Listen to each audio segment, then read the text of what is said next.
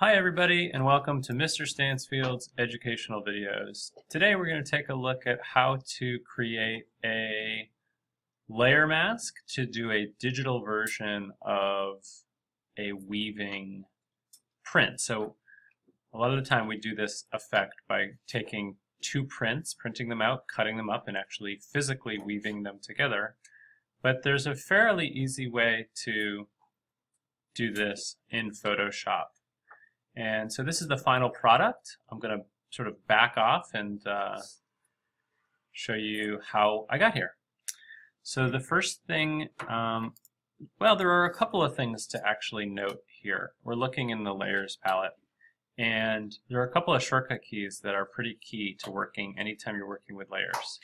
And it is com command click, option click, and shift click. And if you look at this layer mask right here, uh, first of all, I'm just going to click on the eyeball to get rid of the curves. You can see I just wanted to brighten the image, the overall image up, so that's what that curves layer is there for. I'm just going to delete it actually, so it simplifies things a little bit.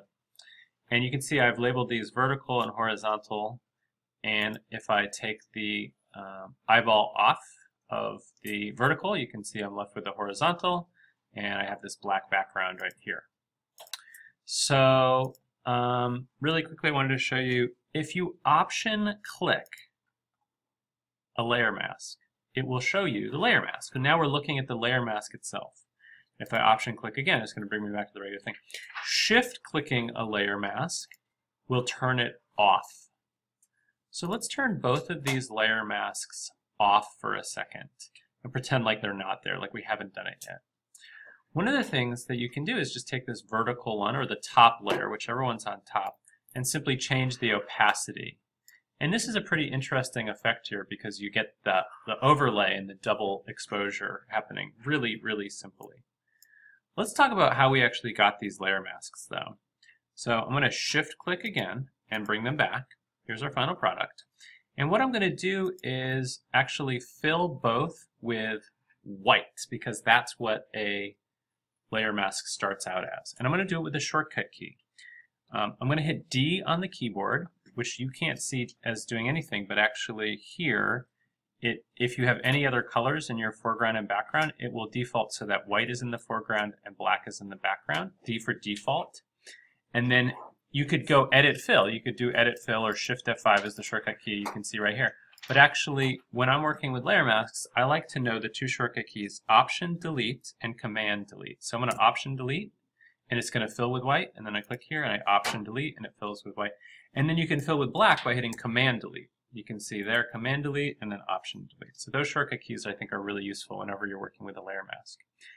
And now let's go ahead and take the eyeball off the vertical. Let's just work on the horizontal here and I'm going to use the uh, rectangular marquee tool to create a, a, a layer mask and the goal here is to create that checkerboard that I showed you before. And there's a couple of things we want to look at. We want to have um, up here view, and you can see here I've got selected rulers. And what that means is view rulers.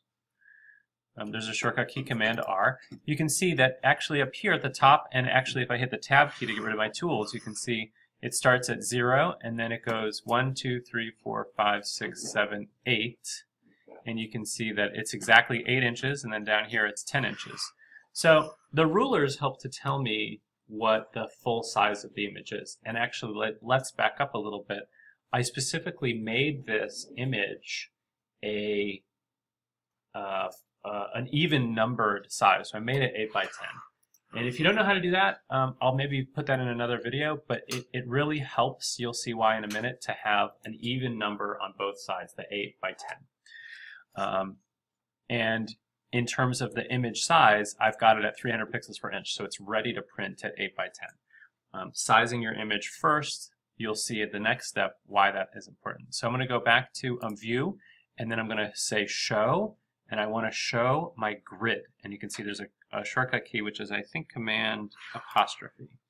And you can see now it's going to give me a grid every inch there's a there's a wider line and then every fourth of an inch there's a smaller line.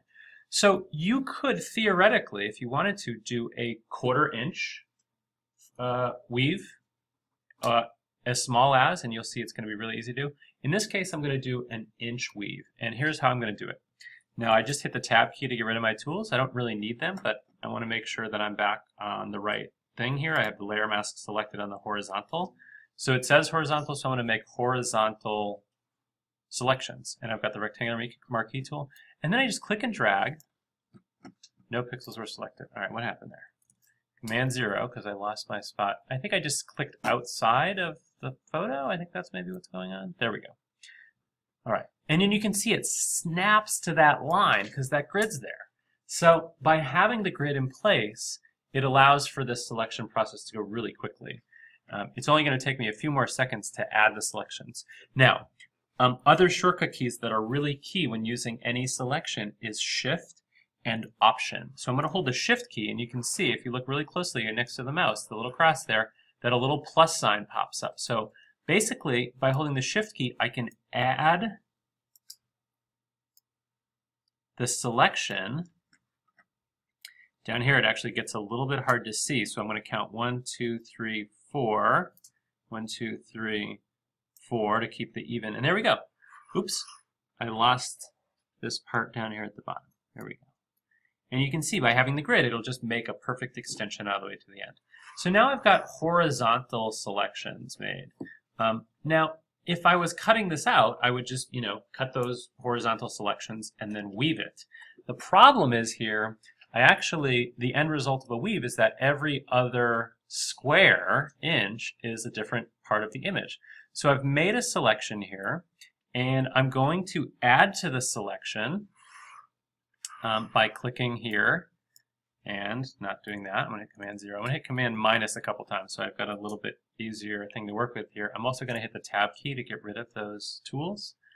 And I'm just going to add to this. So I'm going to do the same thing with the vertical. And you'll see we're actually going to back up from this in just a minute. Okay, is that right? Yes, it is.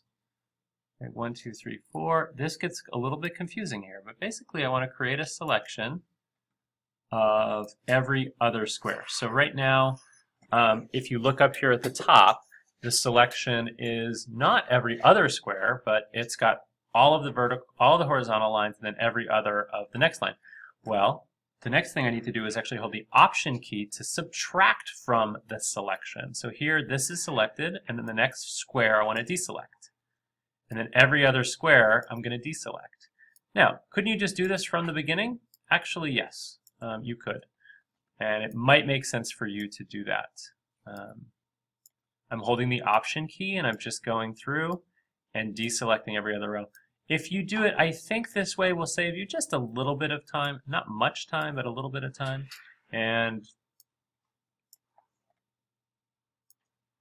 whatever, you could try it if you wanted to. Just do every other square here. It's every other square on every other row. And you'll see once we fill it, once we're done with the selection, we're going to fill it. Um, it'll be clear Going back to my original shortcut keys of command clicking and shift clicking on the layer mask, I'm going to hit the tab key again. Here we go. I select the layer mask, and then because I hit D for default, I've got the black in the back. I want to fill my selection now with black by hitting the uh, holding Option and then Delete. Oops, Command Delete. Sorry, Command Delete. And there you can see that I've made a perfect checker selection. I'm going to hold the um, Option key and click on the layer mask. Here's my layer mask. Now the next part is going to go so much faster. Watch this, okay? I'm going to hit, hit Command D for deselect or select deselect. That was what I did right there. Um, I'm going to Command click on the layer mask so I can see the whole thing.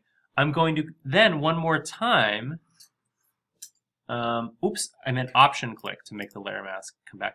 I'm going to hold the Command key and click now. It's going to make a selection. I'm going to click on this vertical layer, layer mask, fill with black,